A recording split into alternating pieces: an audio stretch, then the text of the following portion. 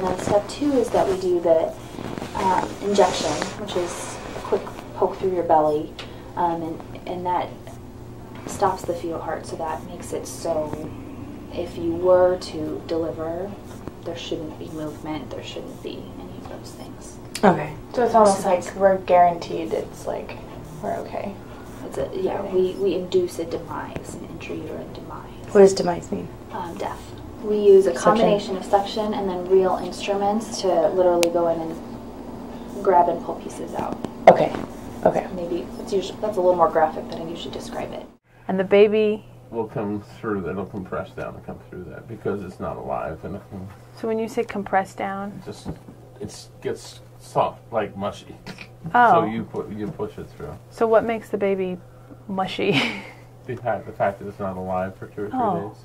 So I'll have a dead baby in me. For three days, yeah. Will it start to decay or something? No, Oh, I, I, so it's like putting meat in a crock pot. Okay, it doesn't get it doesn't get broke, but it gets gets softer. It doesn't get infected or you okay. know. So the dead baby in me is like It's- meat in a crock pot. Pretty much, yeah, kind of much. All right, all right. In a slow And- cooker. And what do you use to break it up? Just Oh, the whole bunch of it. Got a you know, toolkit. pick, an axe, a drill bit, you know. I see. So, Okay. no, I mean, there's all, there's just instru- instruments that have been developed. I'd have better luck standing in front of a train and getting hit and surviving than, than going 100 miles an hour than the baby.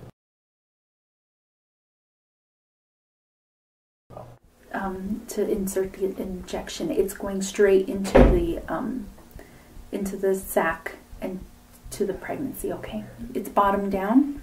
It'll insert through the the baby's bottom. Okay. Okay, if so it's head down, it'll be inserted through the head, through the cranium. does it so- does it feel that? Um, you know, I'm not. I'm not sure. Um, Hmm. I that'd be a good. I don't believe so.